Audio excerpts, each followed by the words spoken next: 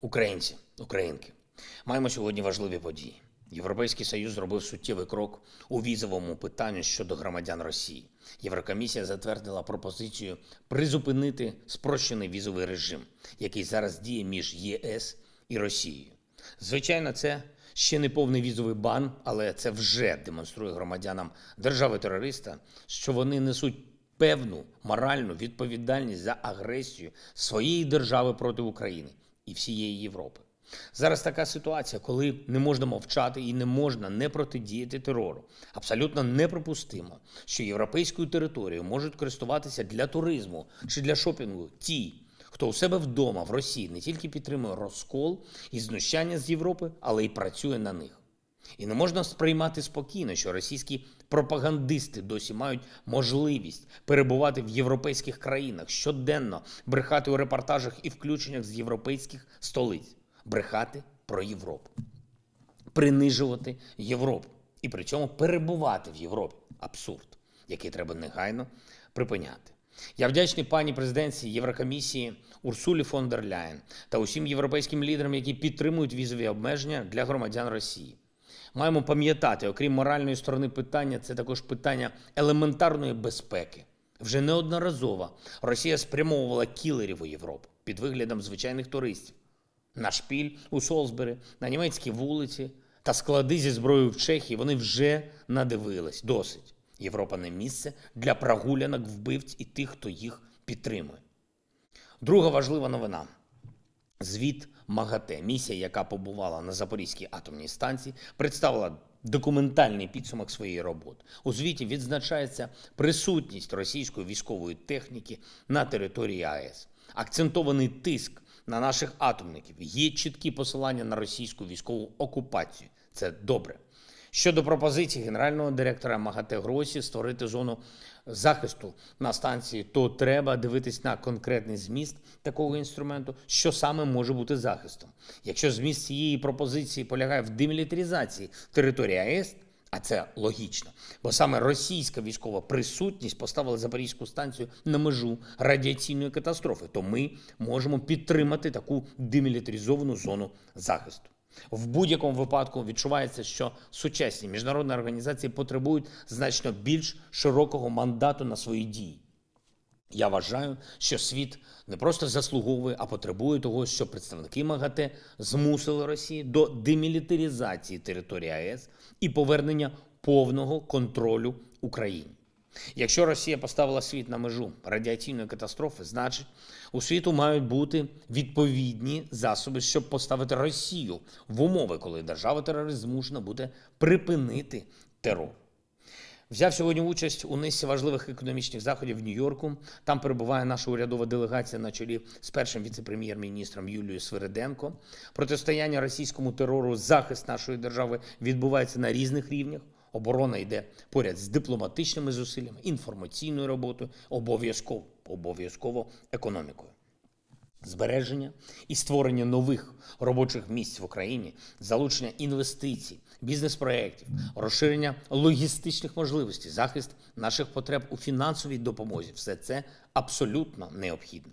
І необхідно зараз, зараз, коли війна ще триває.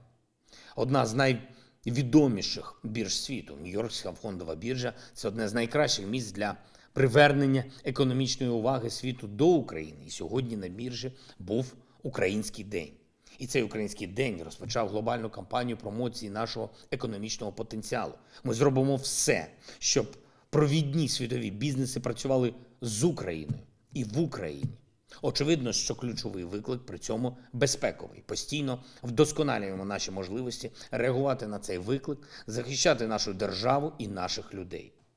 Хочу сьогодні подякувати бійцям, які особливо відзначились у цьому. Тільки за першу половину сьогоднішньої доби вдалося збити 5 з 6 російських ракет Х-101. Це дорога втрата для Росії, і це порятунок багатьох українських життів. Чотири з цих ракет збили військовослужбовці повітряного командування Південь. Молодці хлопці. Також особливо дякуємо сьогодні воїнам 79-ї десантно-штурмової бригади, яка на Донецькому напрямку героїчно стримує ворога. До речі, хочу звернутися сьогодні до усіх наших людей, які створюють інформаційну картину так чи інакше.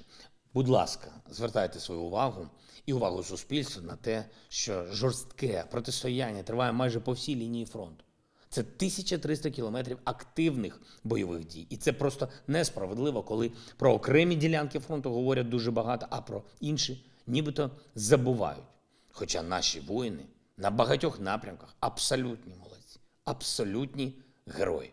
І на Донбасі, і на Харківщині, і в Запорізькій області, і на півдні, і в прикордонних районах півночі та сходу країни. Захист всієї держави потребує однаково щирої та серйозної уваги. Провів засідання ставки Верховного головнокомандувача. Максимально швидко і точно вирішуємо усі питання, пов'язані з просуванням наших збройних сил, знищенням окупантів. 50 тисяч російських життів вже пішло на цю абсолютно безглузду для Росії війну. І окупантів не хвилює навіть такий рівень втрат. А нас хвилює кожне життя наших героїв, наших захисників і захисниць. Ми робимо все, щоб берегти життя українців. Я вдячний партнерам, які допомагають нам із цим.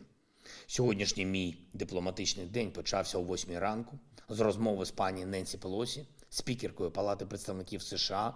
Як завжди, продуктивно і дуже тепло скоординували наші кроки в захисті України і свободи, як такої від російської агресії. Вдень говорив з прем'єр-міністром Нідерландів Марком Рютте про посилення санкційного тиску на Росію, про нову оборону і макрофінансову допомогу нашій державі. Дуже вдячний. Щойно говорив з новим прем'єр-міністром Великої Британії пані Лі Трас. Це була її перша розмова у новому статусі з іноземним лідером, і це велика честь для України.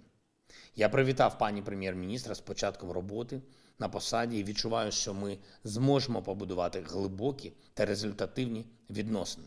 Час, коли пані прем'єр-міністр починає роботу, дуже складний. Російський енергетичний шантаж, постійні намагання держави-терориста дестабілізувати політичну ситуацію в Європі і у вільному світі, постійна російська дезінформація. Але зберігаючи нашу єдність, працюючи у повній координації, ми і це можемо подолати. Обговорили, як ще посилити тиск на Росію, щоб ціна за агресію для неї постійно зростала, і щоб так само постійно зростала оборона підтримка нашої держави. Почув дуже вагомі слова і щодо нашої співпраці, і щодо майбутніх безпекових гарантій для України, і щодо відбудови нашої держави. Дуже важливо, що Велика Британія зберігатиме лідерську роль у консолідації вільного світу і захисті свободи. Запросив пані прем'єр-міністра відвідати нашу державу і дякую за чітку впевненість у тому, що Україна і вільний світ неодмінно переможуть у цій війні, розв'язаній Росією. Дякую всім, хто захищає Україну і свободу. Слава Україні!